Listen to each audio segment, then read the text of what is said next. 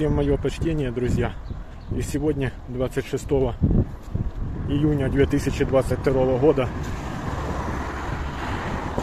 путинские российские войска обстреляли мой родной город Киев по предварительным данным по области и по Киеву выпущено было 14 ракет.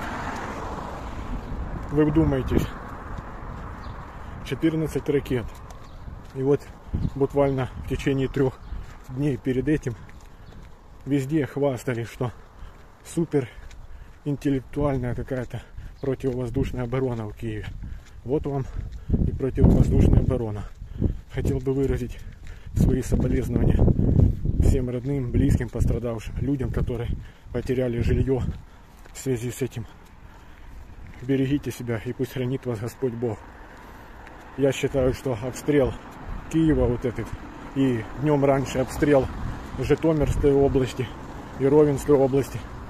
Это, так сказать, послание всем лидерам G7. Потому что буквально сегодня будет проходить саммит G7, на котором будет присутствовать Джо Байден и другие лидеры. А после этого саммита Джо Байден едет еще на саммит НАТО. Так что я считаю, что это посвящено тому, что Путин посылает вот такое вот послание этими обстрелами Киева лидерам G7. Мол, я вас вертел на этом. Но вы поняли. Берегите себя, друзья, киевляне, украинцы. Пусть Господь Бог вам помогает.